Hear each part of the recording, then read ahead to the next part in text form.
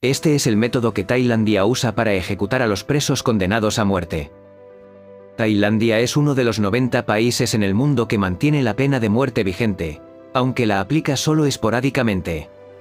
Desde 1935, el país en el que está preso el español Daniel Sancho, para el que la policía ha anunciado este martes que pedirá la máxima pena por el asesinato premeditado de Edwin Arrieta,